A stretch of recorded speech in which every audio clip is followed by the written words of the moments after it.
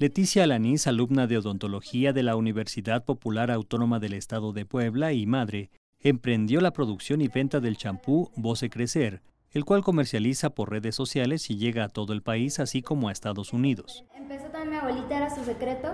Este, entre las 12 yo le ayudé a empezarlo a comercializar, le agregué todavía unas cosas.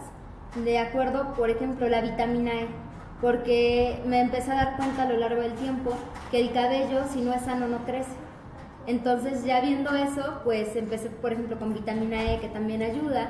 El, shampoo es completamente natural, tiene extractos naturales de sábila, de chile, de miel y también cuenta con la vitamina E.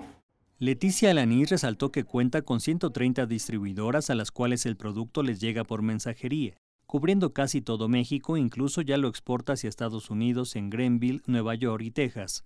Las distribuidoras son madres de familia a las cuales capacita, les da el producto a mayoreo para que recuperen la inversión, obteniendo ganancias en sus tiempos libres. Alanis buscó ayuda en la incubadora de la UPAEP en donde le dieron las herramientas para organizar todo sobre la venta y distribución de sus productos. Con información e imágenes de Javier González, corresponsal en Puebla, Notimex.